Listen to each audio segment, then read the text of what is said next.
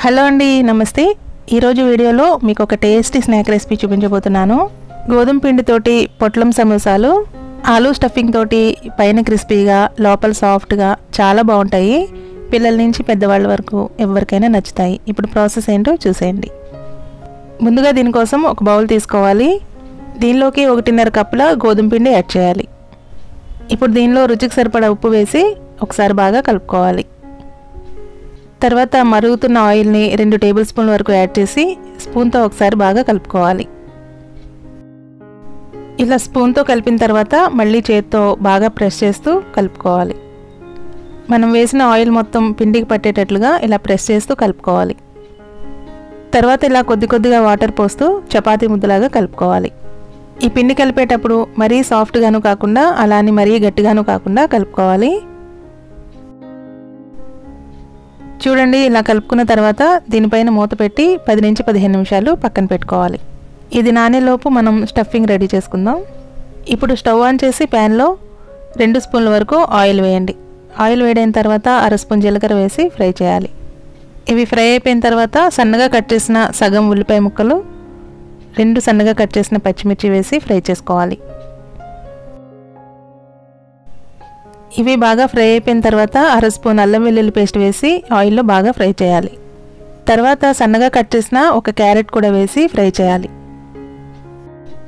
ఈ క్యారెట్ కూడా కొద్దిగా ఫ్రై అయిన తర్వాత పావు టీ స్పూన్ పసుపు అర స్పూన్ కారం అర స్పూన్ ధనియాల పొడి పావు టీ స్పూన్ గరం మసాలా పావు టీ స్పూన్ మిరియాల పొడి పావు టీ స్పూన్ జీలకర్ర పొడి వేసి ఈ మసాలాలన్నింటినీ బాగా కలుపుకుంటూ ఫ్రై చేయాలి.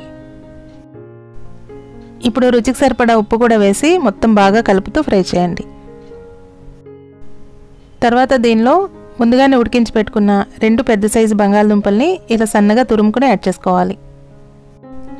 ఈ బంగాళదుంపలు మొత్తం మసాలాలో బాగా మిక్స్ అయ్యేటట్లుగా ఇలా కలుపుతూ బాగా ఫ్రై చేయండి. ఇవన్నీ బాగా మిక్స్ అయిపోయిన తర్వాత చివరిగా కొద్దిగా కొత్తిమీరని వేసి కలుపుకోవాలి. నచ్చిన వాళ్ళు దీనిలో నిమ్మరసాన్ని కూడా వేసుకోవచ్చు. చాలా టేస్టీగా ఉంటుంది.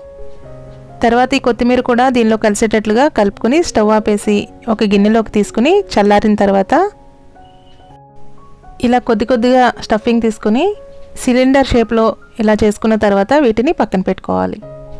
ఇప్పుడు పదిహేను నిమిషాల తర్వాత మూత తీసి మళ్ళీ ఒకసారి పిండిని ఇలా చేతితో బాగా ప్రెస్ చేస్తూ కలుపుకోవాలి.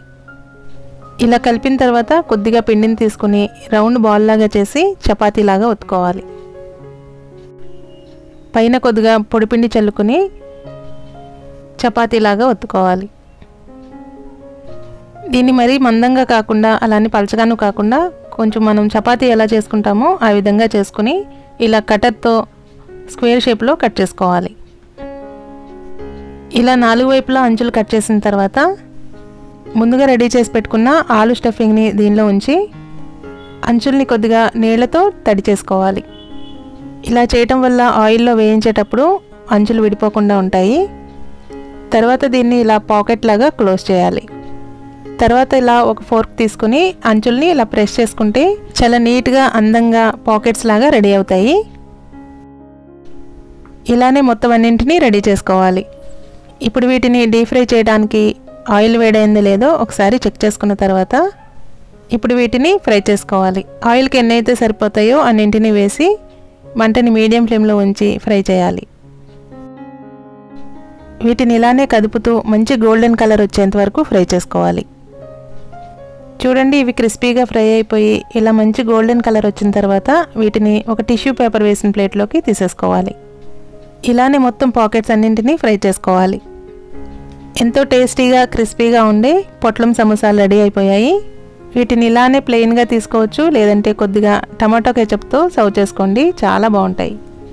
ఈ వీడియో మీకు నచ్చితే లైక్ చేయండి తర్వాత మీ ఫ్రెండ్స్కి తెలిసిన వారికి షేర్ చేయండి. అలాగే కొత్తగా మా ఛానల్ చూస్తున్నట్లయితే సబ్స్క్రైబ్ చేసుకోండి. Thank you